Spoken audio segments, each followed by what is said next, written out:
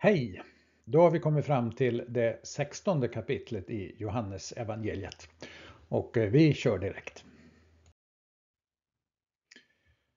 Och som vanligt så ligger bibeltexten här till vänster och så kommer kommentarerna ute till höger. Detta, och eh, då syftar Jesus framåt. Detta har jag sagt er för att ni inte ska komma på fall. De kommer att utesluta er ur synagogorna. Det är det han säger för att de inte ska komma på fall. Och det kommer en tid när den som dödar er ska tro att han tjänar Gud. Det kommer de att göra därför att de varken känner Fadern eller mig. Men jag har sagt det till er för att ni, när deras tid kommer, ska minnas att jag sa det till er. Jag sa det inte till er från början, för då var jag hos er. Nu går jag till honom som har sänt mig och ingen av er frågar mig, vart går du? Trots att jag nu har sagt detta, sagt er detta, så är era hjärtan fyllda av sorg. Men jag säger er sanningen, det är för ert bästa som jag går bort. För om jag inte går bort så kommer inte hjälparen till er. Men när jag går bort ska jag sända honom till er. Och när jag stryker över ord så här och ersätter det med stora bokstäver, då är det alltså en alternativ översättning till Svenska folkbibeln som är grundöversättningen här. Jesus pratar om att de kommer att utesluta er ur synagogorna. Alltså han presenterar förföljelserna inte som möjliga bara eller som en risk utan som nödvändiga. Och så blev det ju också för alla apostlarna. Men vi får inte glömma att belöningen är stor. I bergspredikan så säger Jesus att saliga är de som blir förföljda för rättfärdighetens skull, för de tillhör himmelriket.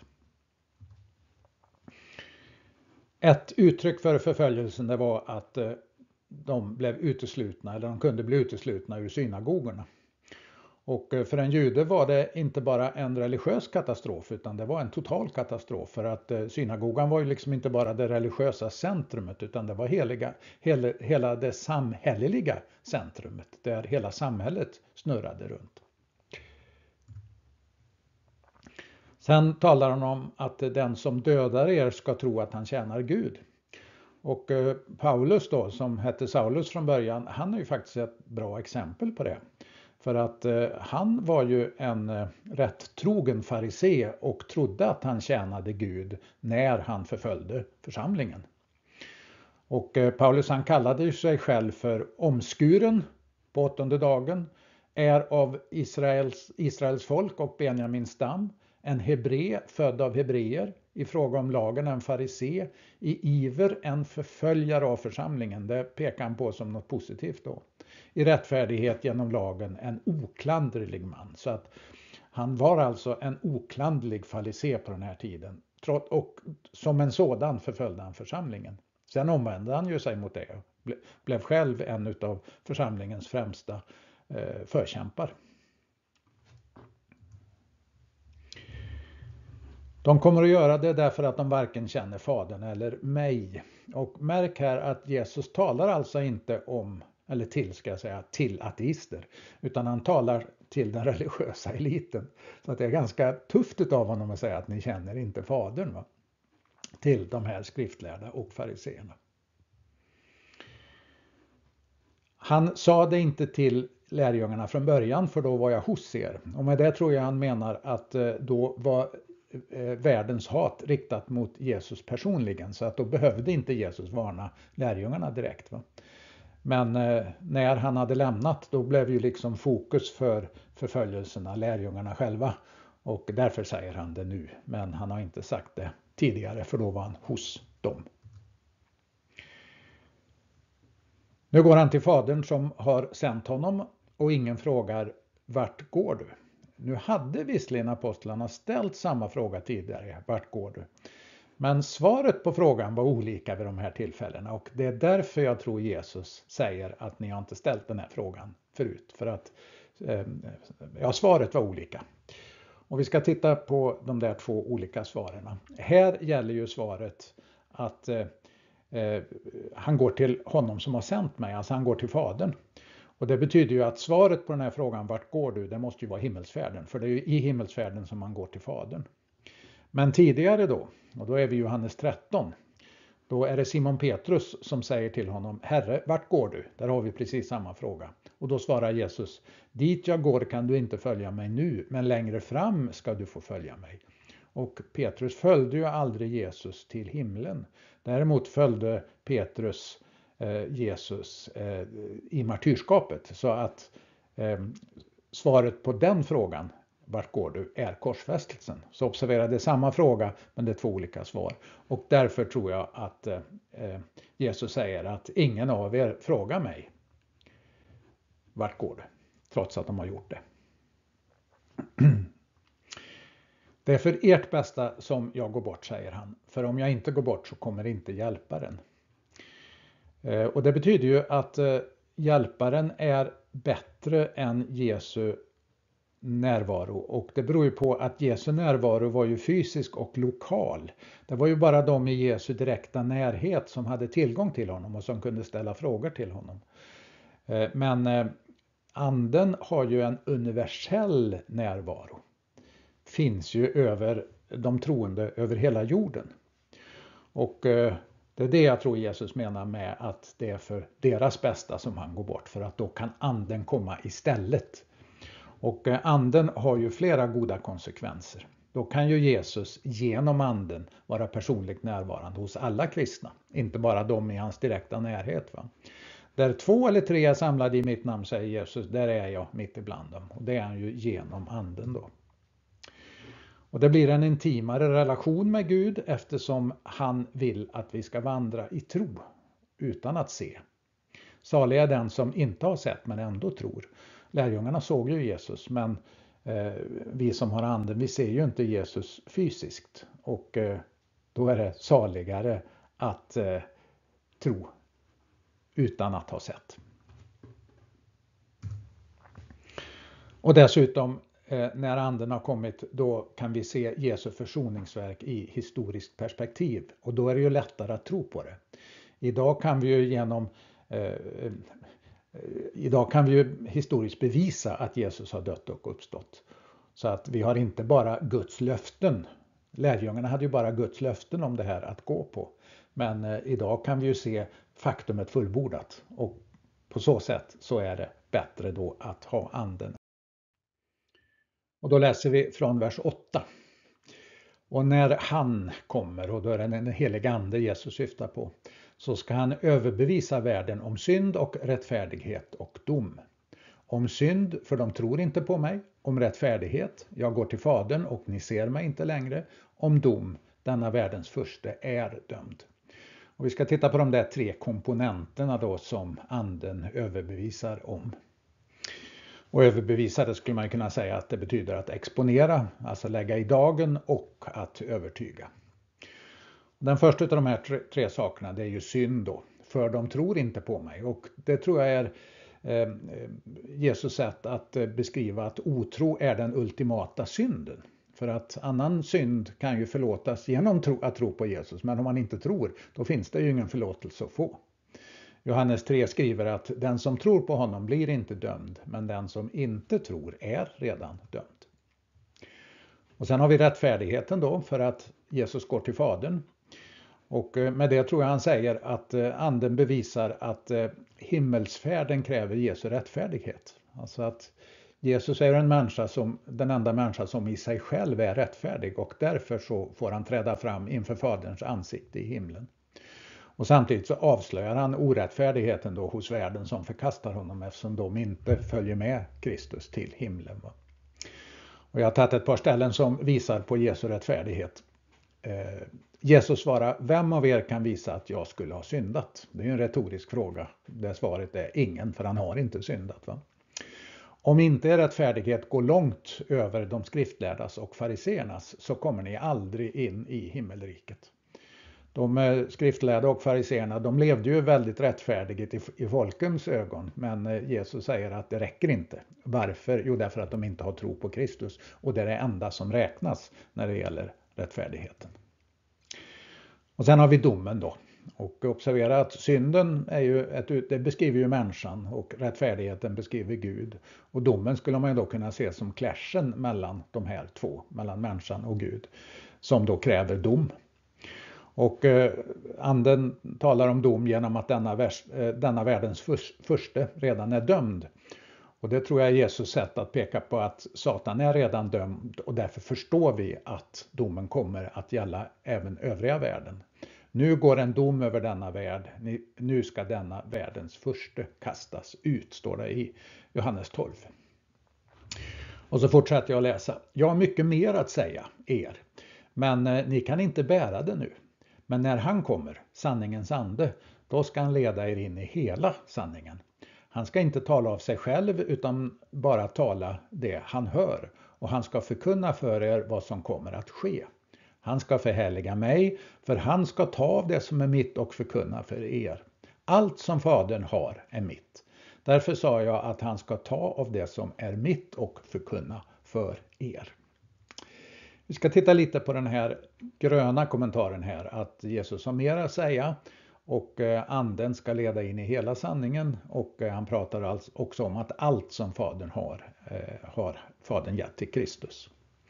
Jesus har alltså fått allt från Fadern, men han har mer att säga till lärjungarna. Och det innebär att Jesus har inte fullföljt undervisningen till lärjungarna när han lämnar och därför tar anden över den undervisande rollen efter det att Jesus är död och har gått till himlen. Och det är det som lägger grunden för de nytestamentliga författarna. Alltså de fick ju en hel del från Jesus men de fick inte allt från Jesus. Utan de fortsatte att få ny uppenbarelsekunskap från anden då som vägledde dem.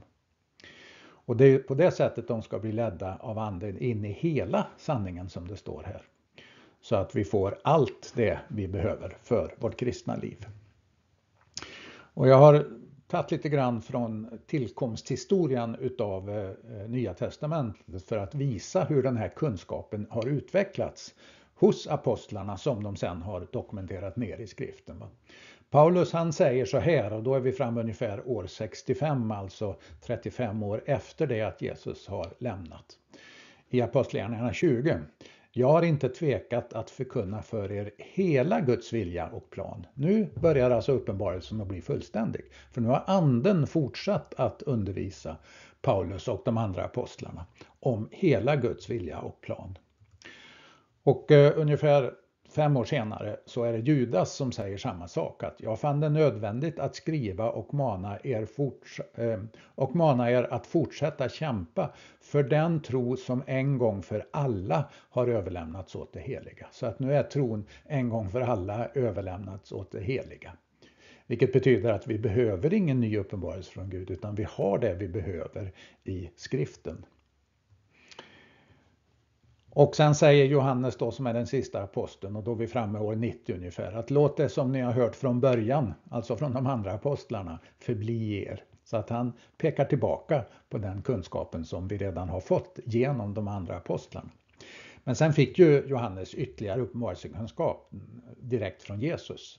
Och det var ju det som resulterade i uppenbarelseboken. Det är ju direkt eh, uppenbarelse och den kom ju ungefär 90-100 någon gång efter Kristus brukar man säga. Men eh, efter den då så har vi fått eh, eh, allt det vi behöver för att kunna leva vårt kristna liv och det har vi i skriften då. Sen talas det om, om ytterligare två profeter som ska komma när vi går in i vedermödan eller de två vittnena som de kallas och då kommer vi ånyo att få ny uppenbarad kunskap från Gud. Vad är då andens roll idag? Ja, det är inte att ge oss ny uppenbarelse, för den har vi komplett i Bibeln.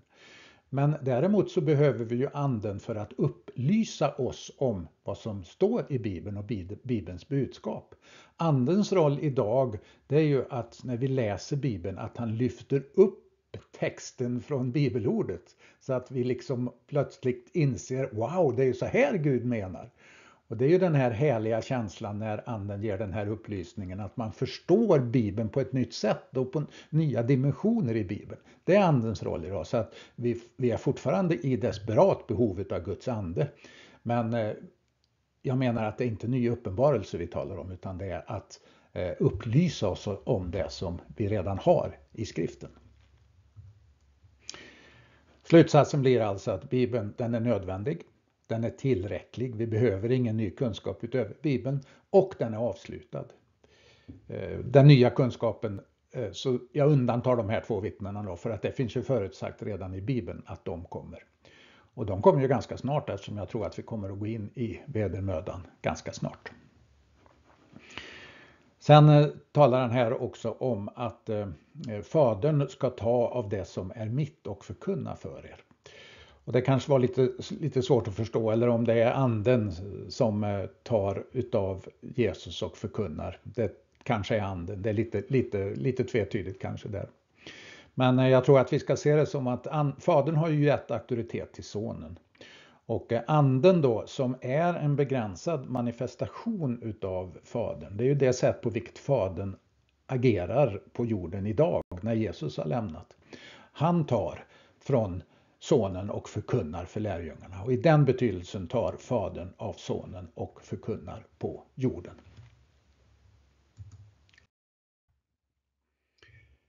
En kort tid och ni ser mig inte längre, säger Jesus och syftar på korsfästelsen. Ännu en kort tid och ni kommer att se mig och syftar på uppståndelsen. Några av hans lärjungar sa då till varandra, vad menar han när han säger till oss en kort tid och ni ser mig inte längre? Ännu en kort tid och ni kommer att se mig. Och att han går till Fadern. De frågade, vad menar han med en kort tid? Vi förstår inte vad han säger. Jesus märkte att de ville fråga honom och då sa han till dem, ni frågar varandra om det jag sa. En kort tid och ni ser mig inte, ännu en kort tid och ni kommer att se mig. Jag säger er sanningen, ni kommer att gråta och jämra er, men världen ska glädja sig. Ni kommer att sörja, men er sorg ska vändas i glädje. När en kvinna ska föda har hon det svårt, för hennes stund har kommit. Men när hon har fött barnet så minns hon inte längre smärtan i sin glädje över att en människa har blivit född till världen. Ni har också det svårt, men eh, jag ska se er igen. Då ska era hjärtan glädjas och ingen ska ta er glädje ifrån er. Den dagen kommer ni inte att fråga mig om något. Jag säger er sanningen, vad ni ber Fadern om i mitt namn, det ska han ge er. Hittills har ni inte bett om något i mitt namn. Be och ni ska få så att er glädje blir fullkomlig. fullkomlig. Kommentar 11. Ni kommer att gråta och jämra er. Och eh, sorgen då som lärjungarna skulle få hade ju många orsaker. De förlorade relationen med Jesus. De fick se Jesu förnedring på korset. De fick se Jesu fiender triumfera. Och de förlorade hoppet om det som, om de, som de hade hoppats på att Jesus skulle vara världens frälsare. Men alla de här sorgerna de vändes ju i glädje då genom uppståndelsen. Då reverserades allt och eh, då ställdes det till rätta igen. Sen talas det om att sorgen, lärjungarnas sorg ska vändas i glädje.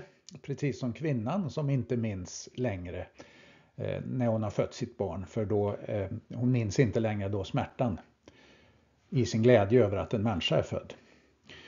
Och på samma sätt som kvinnan inte längre minns sin smärta då så upplöses också lärjungarnas sorg över korsfästelsen. Och det är ju därför när de senare talar om korsfästelsen, alltså i predikningar och i sina brev, så gör de det utan bedrövelse.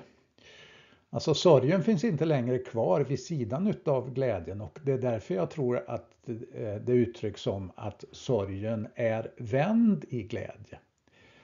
Sorgen är inte där och så har glädjen tillkommit utan sorgen har förvandlats, bytts ut mot glädje. Det är så jag tror vi ska se detta. Och det är på samma sätt med kvinnan, att hon inte minns längre smärtan eftersom glädjen har eh, tagit dess plats. Ingen kan ta er glädje ifrån er, säger Jesus och med det menar han troligtvis att uppståndelsen inte kommer att kunna bestridas. Ingen kommer att kunna grumla deras glädje med tvivel över uppståndelsen.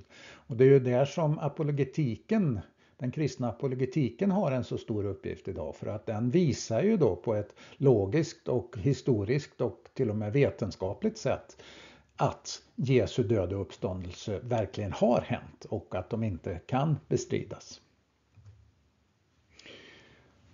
Sen eh, eh, säger Jesus att ni kommer inte längre att fråga mig om något, men däremot så kommer ni att be Fadern i mitt namn. Och eh, vad menar han med det? Jo, lärjungarna kommer inte att fråga Jesus om någonting eftersom de kan be direkt till Fadern efter Jesu död och uppståndelse. Va? Men eh, de gör det via Jesus eller med hjälp av Jesu auktoritet eller i Jesu namn som det är uttryckt. Alltså när Jesus dog och uppstod så öppnade han ju vägen till Fadern. Så att nu har ju den kristne tillgång till Fadern. Och då behöver, vi inte, och då behöver lärjungarna inte be till Jesus längre, för han lämnar ju jorden, utan nu kan de be direkt till Fadern. Men det måste ske med Jesu auktoritet, för att det är ju Jesus som har öppnat vägen. Och det var ju därför som förlåten i templet brast när Jesus dog på korset. För förlåten var ju in till det allra heligaste och det var ju där som Fadern bodde. Och där fick ju ingen utom översteprästen med under väldigt speciella regler gå in. Men eh, när Jesus hade dött och uppstått, pang, nu är vägen till Fadern öppen och, eh, eh, och vi har full tillgång till Fadern i Jesu namn. Jesu död på korset har alltså öppnat vägen till Fadern. Och hittills har ni inte bett om något i mitt namn. Och det har de ju inte, utan de har ju bett Jesus själv. Men eh, från den här stunden då så kan de be till Fadern under användande av Jesu auktoritet. Och eh, en liten lärdom av det här, det är ju när eh, apostlarna ganska snart efter den här händelsen då, efter Jesu äh, himmelsfärd, så skulle de ju välja en ersättare för Judas, den tolfte aposteln. Och eh, eh, då vet ni att de samlades och så valde de ut två man och så kastade de lott då om vem av dem som skulle ersätta Judas. Och innan de, eh, de Eh, gjorde den här lottkastningen då så sa de så här att Herre, du känner allas hjärtan. Visa vem av dessa två du har utvalt till att få den apostlatjänst som Judas övergav. Och nu skulle Herre här kunna vara en direkt bön till Gud, men eh, om, om, om, man tittar lite runt det här så verkar det som att det är Jesus som de adresserar. Och Jesus hade ju sagt att ni ska adressera Fadern direkt nu i mitt namn. Så att eh, här gör de troligtvis ett litet misstag. Det kanske inte behöver vara jättestort, men det är trots allt inte helt enligt med de instruktioner de har fått. Men däremot så gör de ett annat fel som jag tror är ganska allvarligt och det är att Jesus hade ju sagt att jag ska sända över er vad min far har lovat. Och det är ju anden Jesus syftar på då. Va? Men ni ska stanna kvar här i staden tills ni har blivit rustade med kraft från höjden. Men det gjorde de ju inte, för det här valet utav den tolfte aposteln skedde ju innan anden var given på pingstdagen. Så att därför så gjorde de fel menar jag när de satte igång i egen kraft att försöka hitta ersättaren till Judas. Och jag tror det blev fel helt enkelt. Jag tror inte Mattias då som de valde eh, är den tolfte aposteln utan den tolfte aposteln det är Paulus. Han kallar sig själv för apostel, han kallar sig för hedningarnas apostel. Mattias han försvinner ut ur historien efter det här så att det är en, Mattias är en parentes. Eh, och det tror jag just beror på att lärjungarna var inte sådär jättenoga med att följa Jesu instruktioner och därför blev det fel. Sen valde Gud, eller till och med Jesus, för apostel betyder ju utvald. Och en, de här tolv apostlarna, de är speciellt utvalda av Jesus själv. Och jag tror inte det var Jesus som valde Mattias. Däremot var det ju Jesus som valde Paulus. För Jesus Eh, Paulus mötte ju Jesus på Damaskusvägen. Han mötte Jesus personligen, den uppståndne Jesus och blev utvald personligen av Jesus och därför är en av de tolv apostlarna. Då är vi framme i eh, de sista verserna då i Johannes 16, verser 25 till 33. Detta har jag talat till er i metaforer menar jag vara en bättre översättning än liknelser. Det finns en teknisk skillnad mellan dem. Eh, liknelser har ett jämförelseord, till exempel min älskling är som en ros, medan motsvarande metafor skulle vara min älskling är en ros. Och jag tror att det är en metafor som avses här. Men det kommer en tid när jag inte längre ska tala till er i metaforer utan öppet förkunna för er om Fadern. Den dagen ska ni be i mitt namn. Jag säger inte att jag ska be till Fadern för er. Fadern själv älskar er, för ni har älskat mig och tror att jag utgått från vid sidan av Gud. Jag har utgått ut ur Fadern. Eller jag har utgått från Fadern. Jag kommer i den här kommentaren att förklara varför jag tror att ut ur är en bättre översättning. Och kommit till världen. Nu lämnar jag världen och går till Fadern. Här jämför Jesus samma, eller Jesus talar om samma sak på två sätt. Dels som metaforer eller han öppet förkunnar för, eh, för eh, eh, lärjungarna. Och metaforen i det här fallet det är det som står i vers 7, hjälparen, eller vers 13, sanningens ande. Det är alltså metaforen. Och vad är det en metafor för? Jo, det är ju det som man öppet förkunnar om. Och vad är det? Jo, det är ju Fadern. Det är alltså den bokstavliga betydelsen. Det är Fadern. Medan metaforen är den heliga Ande då, va? hjälparen eller sanningens ande. Och det betyder ju, och det här är det, är det enda sätt vi kan tolka det här på menar jag, att anden är en metafor för Fadern själv. Nu är det ju inte hela Fadern. När vi nämner anden så är det inte samma sak som Fadern utan det är en begränsad manifestation av Fadern. Och det är den manifestation av Fadern som utgör Faderns närvaro hos sitt folk efter det att Jesus lämnat och gått till himlen. Faderns närvaro, alltså Guds närvaro på jorden var ju Jesus när Jesus gick här. Men när Jesus lämnar så sänder han ju sanningens ande som är Guds manifestation när Jesus har lämnat. Och det är ju hans närvaro bland sitt folk då, eh, som är församlingen. I Efesierbrevet 2 så står det att Jesus Christus, genom Jesus Kristus så har vi båda, och då talar han om judar och hedningar, i en och samma ande tillträde till Fadern. I honom fogas hela byggnaden, och där är byggnaden då en metafor för församlingen, samman och växer upp till ett heligt tempel, en ny metafor för församlingen, i Herren. Och i honom blir också ni sammanbyggda till en boning, en tredje metafor för församlingen, va? åt Gud genom vad då? Jo, genom anden. Alltså anden är det som förenar och anden är Guds verkan på jorden. Det är för övrigt därför som det är värre att synda mot den heliga ande än det är att synda mot sonen. Det beror på att den heliga ande är Gud själv. Det är Guds närvaro på jorden. En begränsad manifestation av Gud på jorden.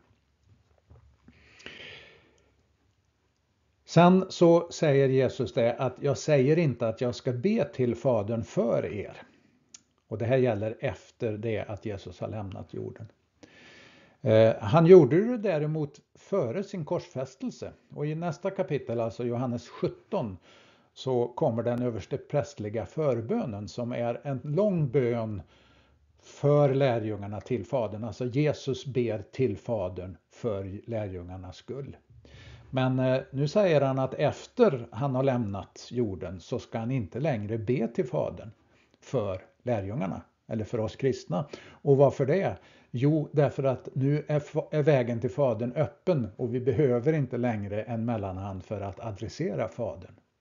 Däremot behöver vi adressera Fadern i Jesu auktoritet eller i Jesu namn. För det är ju Jesus som har öppnat vägen till Fadern.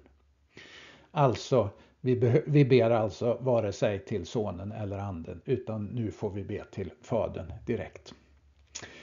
Eh, nu kanske många av er tycker det här låter lite konstigt för att eh, ni ber säkert till sonen och det gör jag också.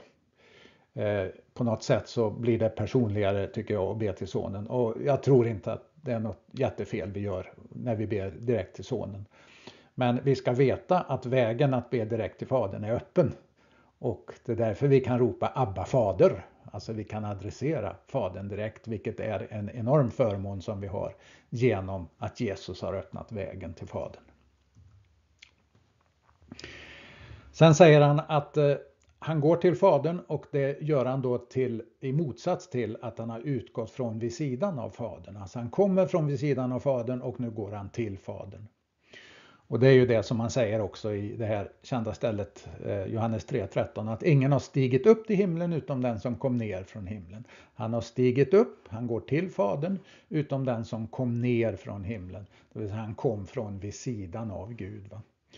Och vem är det? Jo, det är Människosonen som är i himlen och är är ju ur eh, det är ju Johannes som säger det när han skriver sitt evangelium då eh, långt efter, efter eh, Jesu död. Och då är ju Människosonen i himlen. Sen har vi det här då att en bättre översättning är att han har utgått ut ur Fadern snarare än han utgår från Fadern. Och de äldsta manuskrifterna de har inte utgått från Fadern utan de har just det här att han har utgått ut ur Fadern.